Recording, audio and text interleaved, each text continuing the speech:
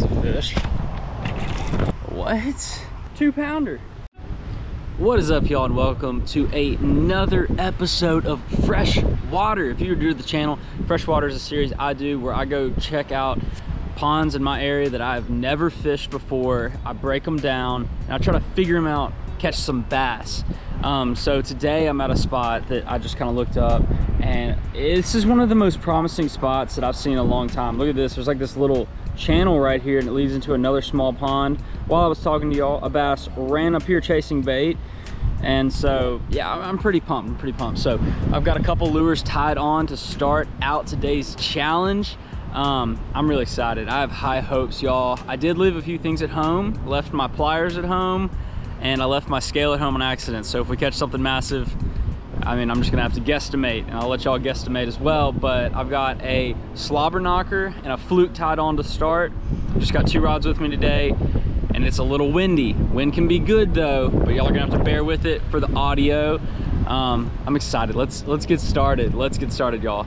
I had another bass come up in this little canal here and uh, eat bait. So we're gonna throw around this little fluke. It's more of a baby bass color, but I think it could uh, could pay off. I don't know if there's any like shad or anything in here, so we're gonna go with the more natural presentation to start. It is another chilly morning, y'all. Oh, need to cancel my, my map. Get that out of here. Uh, nine o'clock, later start than normal. But, I mean, looking good. Looking good. Like the breeze on the water.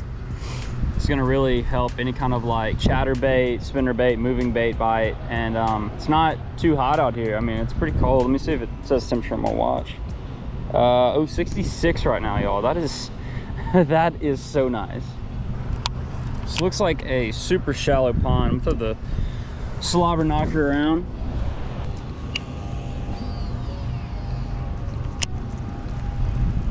Oh, really felt like a bite, but I'm getting all kinds of gunk on the lure. So probably is just as shallow and mucky as I was thinking. The water's a nice like bluish tint, but it's fairly clear, so that'll be good.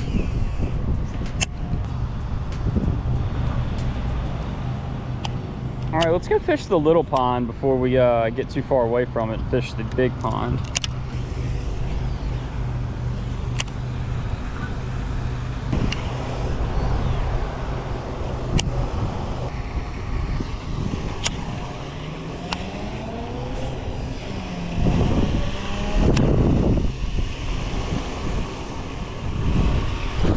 There's fish. First throw at that fluke. All right. There we go. Oh, where'd he fling my... Oh, it's on my line. I'm so dumb. Little guy, but that was too easy. First throw in with that fluke. Man.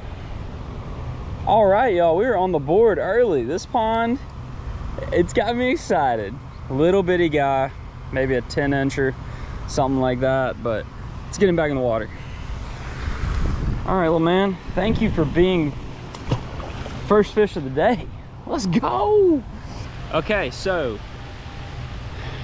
now that i've caught him i don't want to say it's like 100 percent confirmed but the first thing i noticed when i got here lots of little bait kind of flicking around and running and occasionally a bass that i presumed they were bass would come up and take a big swipe at these bait, uh, these little pods of bait. So I thought, you know, like a fluke. This represents dying bait fish of some type. This is a baby bass color, but I mean, it just looks like a little pond bait fish, honestly.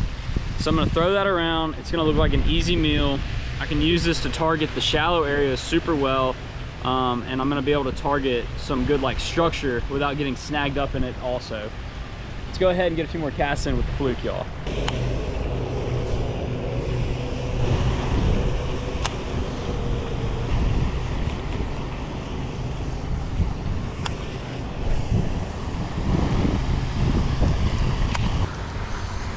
Okay, let's go check out Big Pond, see if we can find a place to throw the chatterbait around.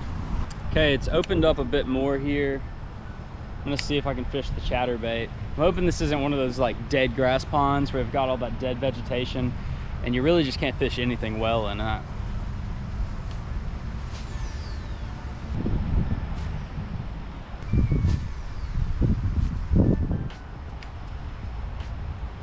Y'all, I don't think I'm gonna be able to fish anything subsurface very well in this big pond. I've got on fluorocarbon line, but I think I'm gonna go ahead and tie on some type of topwater walking bait. Walk along these shallows. I mean, fish seem pretty active, so maybe I can get one to come up and eat this and at least it won't get snagged. It'd be fun too, just to walk it around. Okay, let's see what we got in the old box.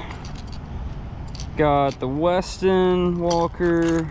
This is a Strike King Sexy Dog Jr. That might be kind of the size we want to go for. And I've got a hound as well. It's black, but kind of feeling this white belly today, this like shad pattern. Let's put this bad boy on. Now, I'd recommend y'all throwing your walking baits on braid or monofilament for sure. Um, what's gonna happen is the fluorocarbon sinks and it's gonna be actually pulling this bait down kind of like into the water while I'm trying to work it but if I work it fast enough, I can get away with it. You can always get away with throwing just about anything on any line. Um, people are gonna get mad and kind of butthurt about it though when they see you doing it. so we're just gonna be throwing him out, probably than that, but see, look how I can work him, even on the fluorocarbon. All right.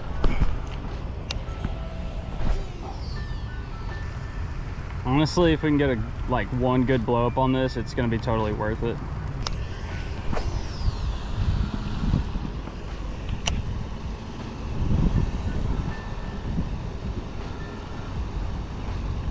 Whoa, is that going for my lure? What was that?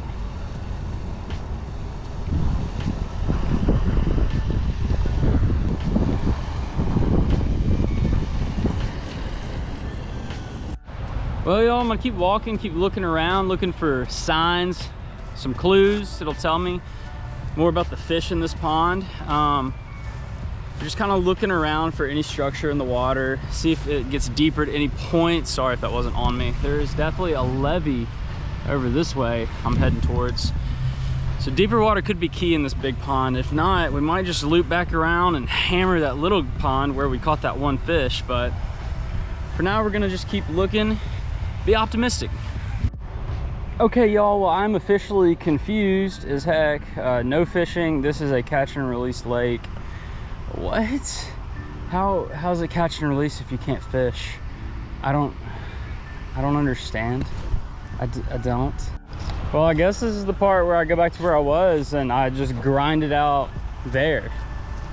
Or backtrack. I'll fish a little bit more, I guess, on the way back, but I don't even know. I guess it maybe means don't fish on that side and then it's catch and release everywhere but like that side is I mean everybody's got up an iron gate or a fence but like I guess a privacy thing I, I don't know. Still see the occasional bass running bait up on the bank so just throw the fluke around a little bit. In the shallows. Well I guess I'm just gonna try to catch something off the shallow bank. I changed lures on y'all, by the way. We got a uh, suspending lipless crank now. Eh. I got fish first throw with it. Yeah, baby. Let's go. I got a fish on the lipless crank. First chunk out in the middle. The first chunk is not a chunk, it is a dank. A dinky boy. I think I walked out of the camera to uh, make that cast because I'm under some trees. So sorry about that.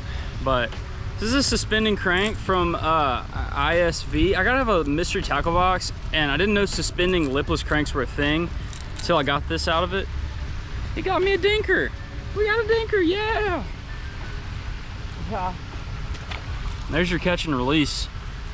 Um, so I made the switch because I it felt like this pond is like decently pressured. It felt like maybe there's smaller fish in here. They're definitely chasing and I really just need to cover ground.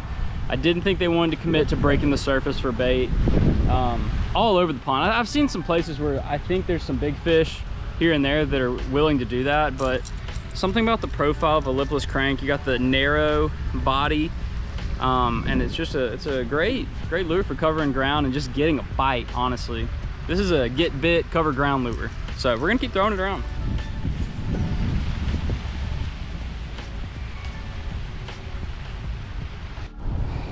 Whoa, we are back at the beginning.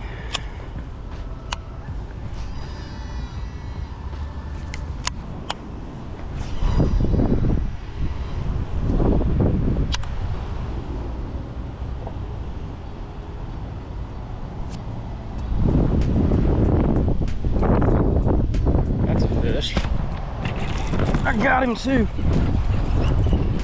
Not a bad one. Yes, sir. That's not a bad fish. Wait. Okay.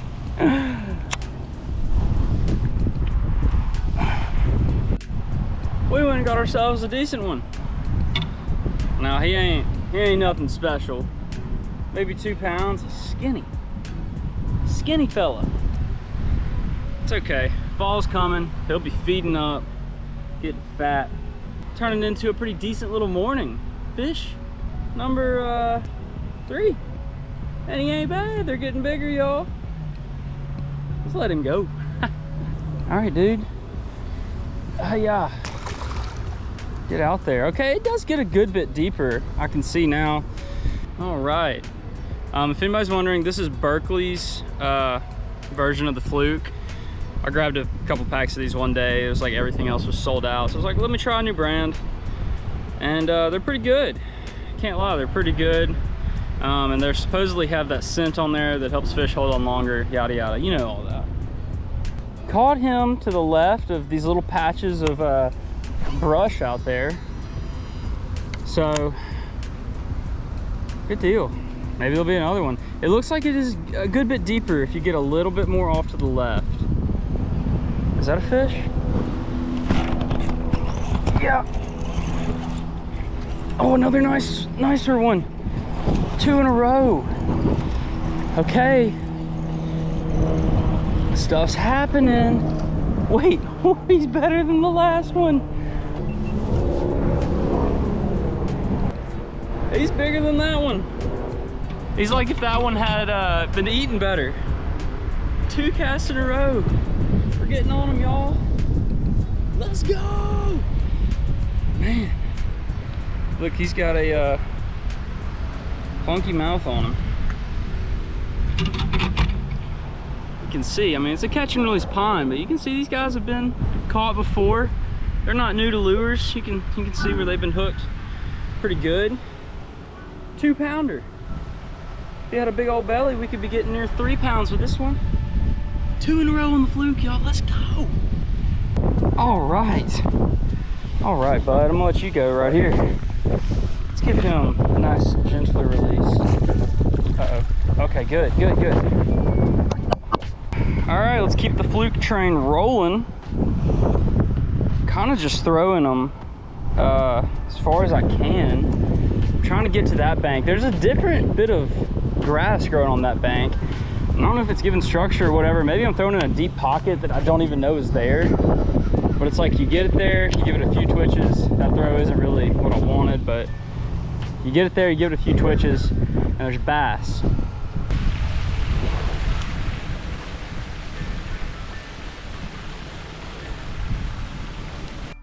All right, y'all, that is a wrap on today's fishing adventure. I had a good time and I call that a success. We landed four fish, which is way better than I've been doing for about a month now. Um, y'all are probably excited to see some fish actually on the videos.